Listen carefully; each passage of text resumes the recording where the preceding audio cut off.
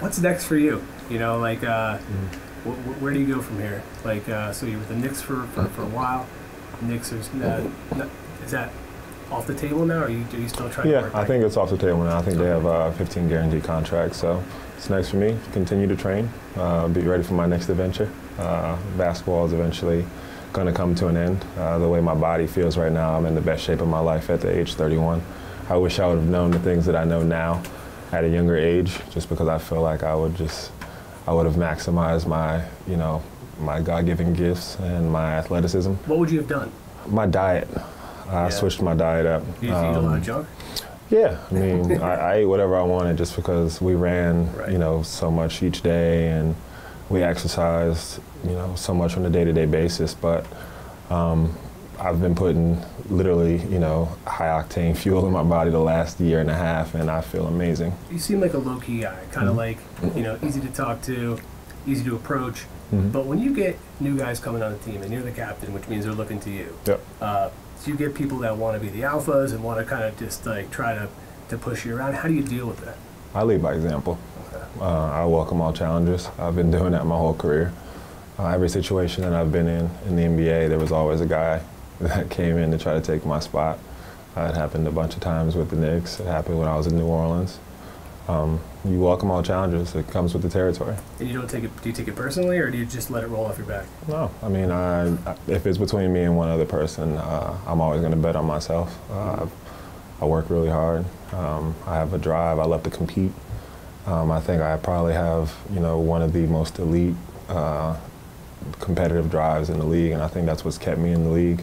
Being a guy who, you know, is a defender, energy guy, um, not one of the elite guys in the league, but one thing I do have elite is my competition. You're also into photography and fishing, uh, both things I Mhm. want to talk about. But how did you get into photography? I took a course when I was at Duke, um, and I was just fascinated by it. And I always loved to capture the moment.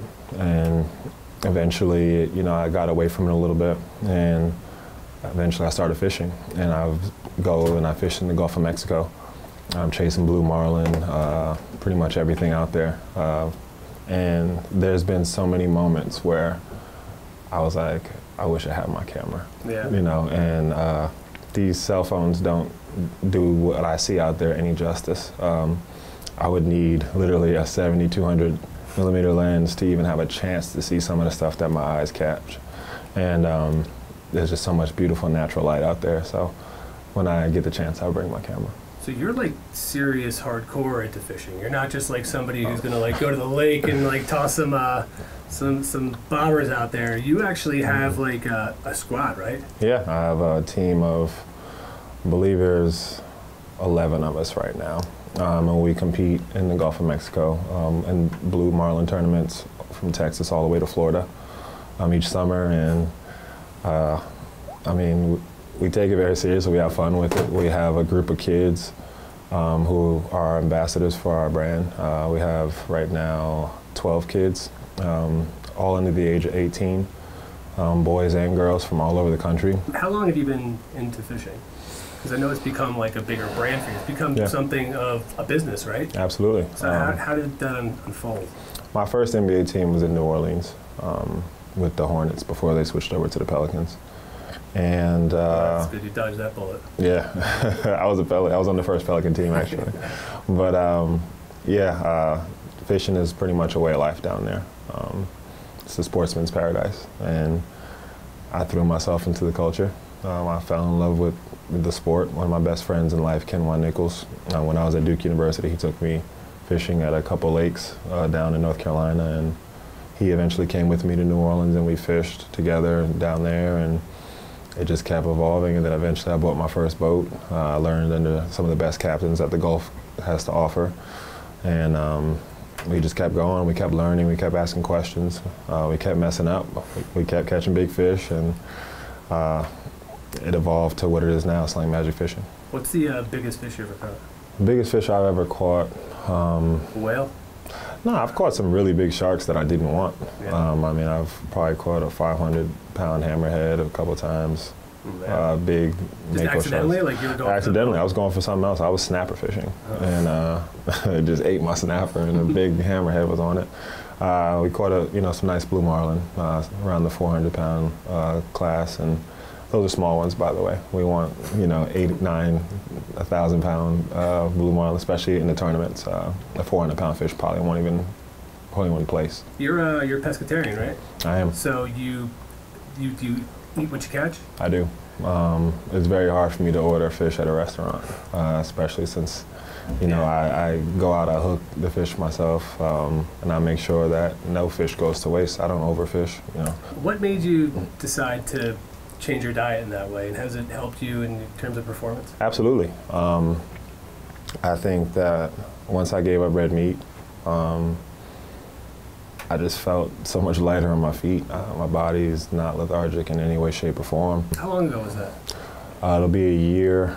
Um, it'll be a year in October, um, and uh, I had uh, orthoscopic knee surgery last season. Um, they, I had some floating debris, uh, cartilage floating around on my knee, and I just had a small procedure to get it removed. And uh, during that operation, it was very humbling for me, uh, just because the day before the surgery, my quad was a rock, and then the day after, it was you know gummy bear. You know, and I was just like overnight, how is that even possible? I, I stayed awake and I watched them do the surgery. They were like, you have the option to go under.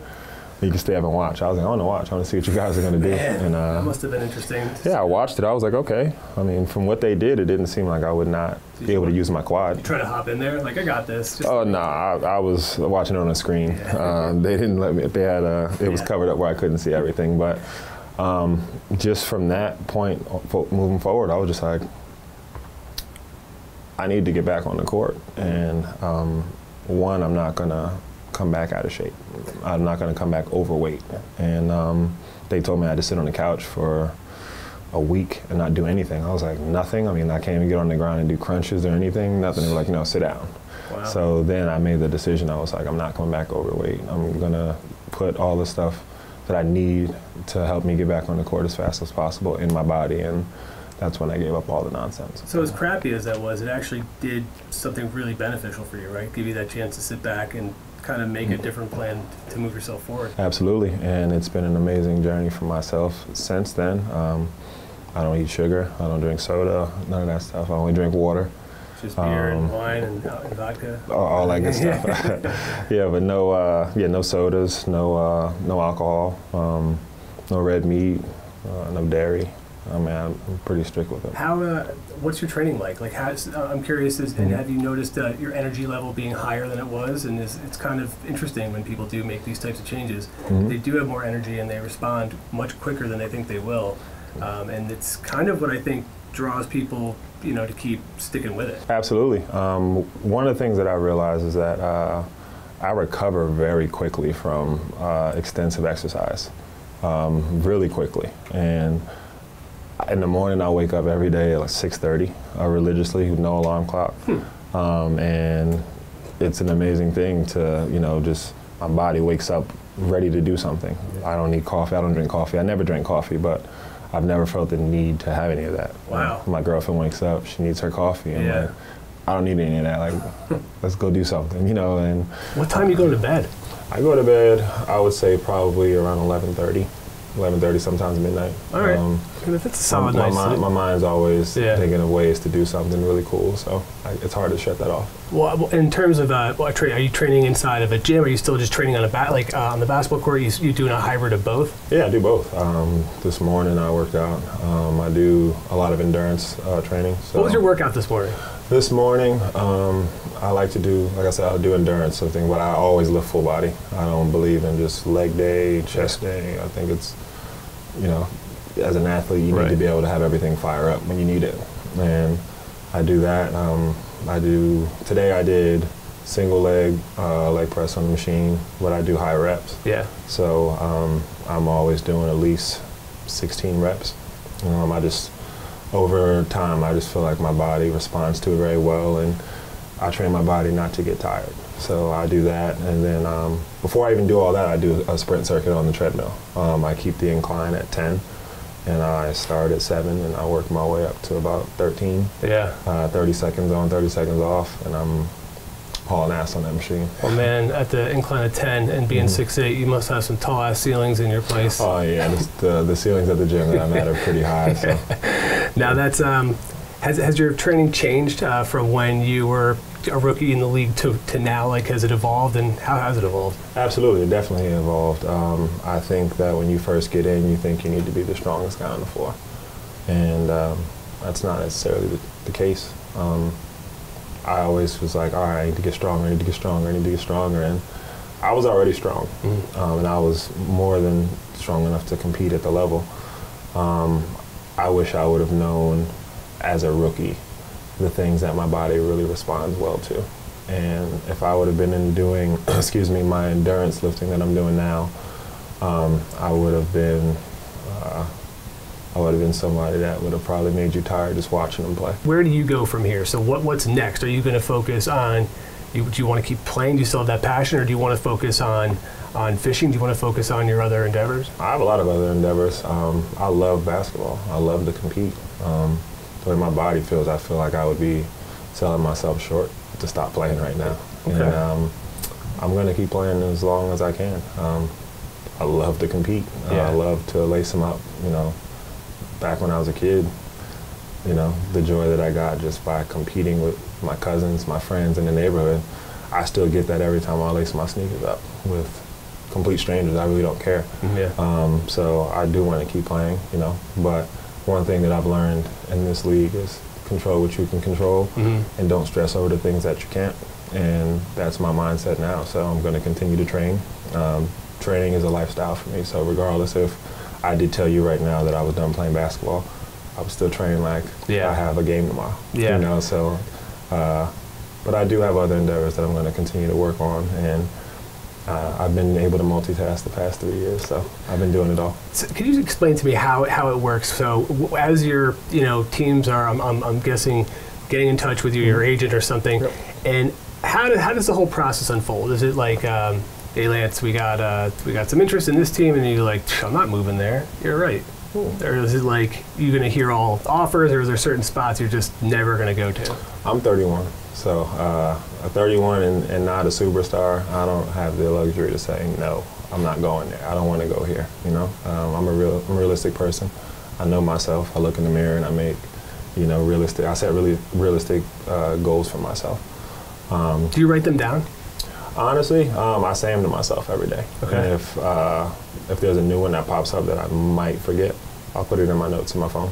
But um, anything that you know wants me to compete for them, I'll go and play. Yeah. Um, I'm not picky in that regard. I love New York City. This is home. I've been blessed enough to play for the team that I grew up idolizing for the past five years. So it was a blessing. Yeah. Um, but you know, all good things come to an end. I love New York. I'm always going to love New York, and I'm still always going to be a Knicks fan. When you do want to hang it up when it's time and, you, you're ready to, to walk away, Mhm. what is it you want to be remembered uh, as a player? Because it seems to me like you want to make sure that you're remembered outside of basketball, Mhm. which is, uh, I mean, that that's awesome that you're trying to help other people. But inside of the league, what is it that you want them to look back at your career and, and I want everyone that was able to lace them up alongside me to say that I was probably one of the best teammates they ever had. Um, I take pride in that. Um, I care about all my teammates. Uh, I compete hard. Um, I've always been there for everyone, especially if they called me at any hour of the night. I'm always picked up the phone. Um, we all go through, you know, difficult times, Mhm. and uh, I had teammates that have been there for me to vent, and I've been there for a lot of my other guys to vent. Um, being a guy who got into the NBA through the back door, going through the NBA D League at the time now it's the G League because Gatorade bought it. Um, guys know that I can relate to some of the things that they went through, and to uh, not act like I haven't been there before. Yeah. So guys respect that, and I've always just been someone who likes to lead by example. So if, if anything, I want them to remember I was a great teammate. Lance, uh, that's all I got for you, man. Thank Cool. you again for coming by. It's really Absolutely. a pleasure to meet you. Thank you for the time. Yeah, thanks.